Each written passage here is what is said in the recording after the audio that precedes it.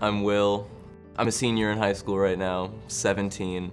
I was 14 when I started vaping. I had smoked cigarettes before for a while. So when they were like, hey, it's the same thing, it's just safer, it's fine, it's like water vapor, there's less nicotine. None of those things are true. Um, so I tried it, and the first thing you notice is how much smoother it feels. It doesn't feel as dangerous as a cigarette does. I think it's often overlooked how much a part mental health plays in addiction. I'm diagnosed with depression and anxiety, and it's been a really difficult thing in my life.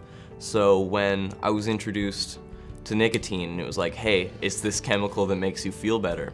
When I first started, I was a cross-country runner and cross-country skier, but um, my lung capacity was never the same. It felt like I was getting out of shape, but I knew I wasn't.